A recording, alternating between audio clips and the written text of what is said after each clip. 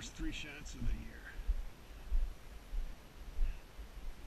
Well, actually, four shots.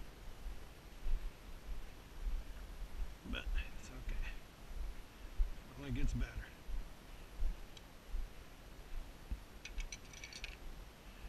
That's it for now.